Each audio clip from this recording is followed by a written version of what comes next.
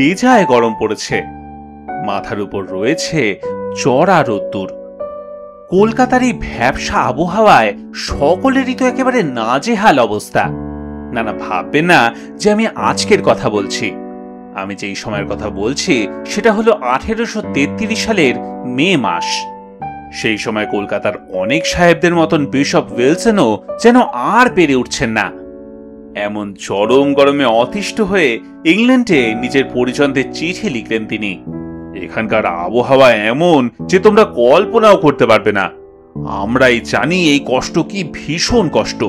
সারা শরীর যেন জ্বলছে। এত গরমে আমার মাথা যে কি করে স্থির রাখি সেটাই বুঝে পাচ্ছি না। খুব সত্যি কথা, সেকালে কলকাতার গরমে সাহেবদের তো বড়ই করুণ দশা হতো। তখনও যে বাক্স প্যাটরা গুছিয়ে সাহেবদের কলকাতা থেকে হয় দার্জিলিং বা সিমলা চলে যাওয়ার জল শুরু হয়নি। দার্জিলিং যাওয়ার রাস্তাই তখন তৈরি হয়নি। আর সিমলাকে সামার ক্যাপিটাল বলতে তখনও তিরিশ বছর বাকি। অতএব বুঝতেই পারছেন সাহেবদের তখন কি হালটাই হতো। এমন সময় কলকাতার বন্দরে একটা জাহাজ এসে উপস্থিত। নাম তাসকানি। আপনাদের আগেই একটা গল্প বলেছিলাম যে এই দেশ থেকে জাহাজ ভর্তি করে জিনিস নিয়ে যাওয়া হতো। কিন্তু ফিরে আসতো খালি জাহাজ। কিন্তু একেবারে খালি জাহাজ তো আর ফেরানো সম্ভব নয়, খালি জাহাজের উল্টে যাওয়ার সম্ভাবনা আছে। তাই মাটি বা এমনই সব জিনিস জাহাজে ভর্তি করে পাঠানো হতো।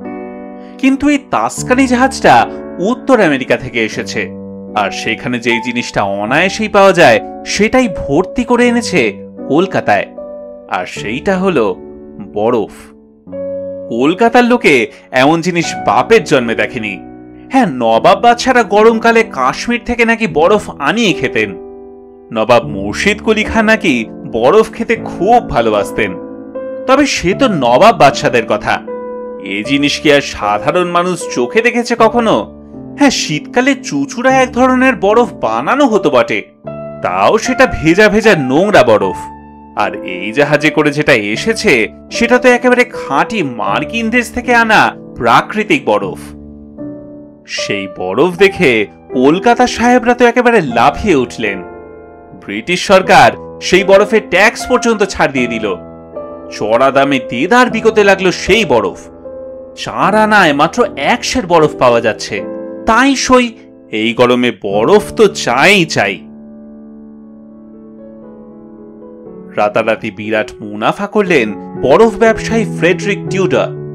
সেবারে টিউডারের যে এজেন্ট কাম পার্টনার কলকাতায় এসেছিলেন, তার নাম ছিল উইলিয়াম রজার্স। প্রায় একশো টন বরফ তিনি জাহাজে করে এনেছিলেন। এত বরফ দেখে খুব খুশি হয়ে বড়লাট বেন্টিং তাকে বিরাট সম্বর্ধনা দিলেন। উপহার দিলেন একটা রূপোর ভাস তাতে খোদাই করা presented by Lord William Bentinck Governor general and commander in chief of India to Mr. Rogers of Boston in acknowledgement of the spirit and enterprise which projected and successfully executed the first attempt to import a cargo of American ice into Calcutta. কিন্তু এত বরফ কলকাতার গরমে কিছুদিনেই যে গলে জল হয়ে যাবে তাহলে উপায় জাহাজ আসার মাত্র তিন দিনের মধ্যেই কলকাতার সাহেব বাসিন্দারা চাঁদা তুলে একটা আইস হাউস তৈরি করার তোড়জোড় করলেন। সেই আইস হাউস তৈরি হলো কলকাতার ব্যাংশল স্ট্রিটে। আস্তে আস্তে ফ্রেডরিক টিউডরের সেই বরফ ব্যবসা বেশ ফুলে ফেপে উঠল। মাত্র পনেরো বছরের মধ্যেই একশো টন বরফ থেকে শুরু করে তিন হাজার টন বরফ তিনি কলকাতায় বিক্রি করতে শুরু করলেন। লোকে তাকে বলতো আইস কিং বা বরফের রাজা। বলবেন নাই বা কেন? শুধুমাত্র কলকাতাতেই বরফ বিক্রি করে তিনি সেকালে রোজগার করেছিলেন দু লক্ষ কুড়ি হাজার ডলার। ভাবতে পারেন? তবে শুধু কলকাতাতেই নয়, মাদ্রাস, বম্বে, আরও অনেক শহরে তিনি বরফ বিক্রি করতেন। তার এমন ব্যবসায়িক সাফল্য দেখে প্রিন্স তারকানাথ ঠাকুরও এই বরফ ব্যবসায় নামতে চেয়েছিলেন। কিন্তু সরকার তাকে অনুমতি দেয়নি। তাই এই ক্ষেত্রে আইসকিং এর একচেটিয়া ব্যবসা ছিল। ধীরে ধীরে তিনি বরফের সঙ্গে কখনো আপেল, কখনো মাখনও এক্সপোর্ট করা শুরু করলেন। এই নিয়ে স্বামী বিবেকানন্দর ভাই মহেন্দ্রনাথ দত্ত লিখেছেন, কলিকাতার লাল দিঘির ধারে বরফের গুদাম ছিল। কানাডা থেকে মাল লইবার জন্য খালি জাহাজ আসিত। সেই জাহাজে ভারসাম্য ব্যালেন্স ব্লাস্ট রাখিবার জন্য চাপ চাপ বরফ আসিত। কতকটা গলিয়া যাইত, কিন্তু তবুও অনেক কলকাতায় পৌঁছাইত। গরমিকালে ছোট কাকা কাছারি হইতে আসিবার সময় কখনো কখনো ঘোড়ার কম্বলে মুড়ে বরফ আনিতেন, সেই বরফ করাতের গোড়া দিয়া রাখিতে হইত। সে এক আশ্চর্য ব্যাপার, যাহারা গোড়া হিন্দু তাহারা খাইতেন না, আমাদের বাটিতে বিধবারা খাইতেন না, আমরা লুকিয়ে একটু আধটু খাইতাম, তাই চাঁদটা অত শীঘ্র যায় নাই। লোকের মুখে শোনা গেল আপেল বলে একটা জিনিস আছে। সেটা সাহেবরা খায়, তাই ওদের অত বুদ্ধি। কিন্তু বহুদিন তাহার দর্শন পাই নাই। অবশেষে শোনা গেল যে বরফের ভিতর করে একরকম ফল আসে, টাকায় তিনটি বা চারটি। একবার এক টাকায় চারটি আপেল আনিয়া আমরা সব ভাই বোনে একটু একটু মুখে দিলাম। পাতলা পাতলা এক চাকা করিয়া ভাগে পড়িল। কিন্তু এর বিশেষত্ব কি কিছুই বুঝিতে পারিলাম না। এখন আপেল, নাশপাতি বারো মাস পাওয়া যায়। তখন ইহা অতি আশ্চর্য জিনিস ছিল। আঠেরোশো বাষট্টি নাগাদ বরফ তৈরি করার মেশিন এসে গেল, আর তার কিছু বছর পরেই আঠেরোশো আটাত্তর সালে তৈরি হলো ভারতবর্ষের প্রথম বরফ তৈরির কারখানা, বেঙ্গল আইস কোম্পানি।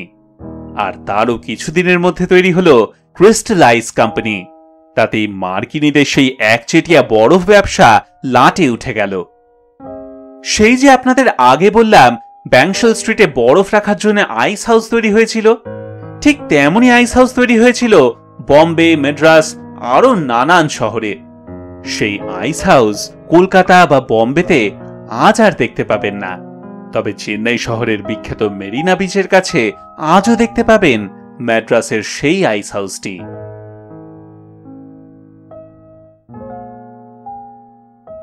গল্প হলেও সত্যির আজকের এই ভিডিওটি কেমন লাগল আপনাদের? কমেন্ট সেকশনে নিচে লিখে জানান আমায়। ভালো লাগলে লাইক এবং শেয়ার করবেন, সঙ্গে থাকবেন গল্প হলেও সত্যির সঙ্গে। আজকের মতন এইখানেই শেষ করলাম। ধন্যবাদ, নমস্কার।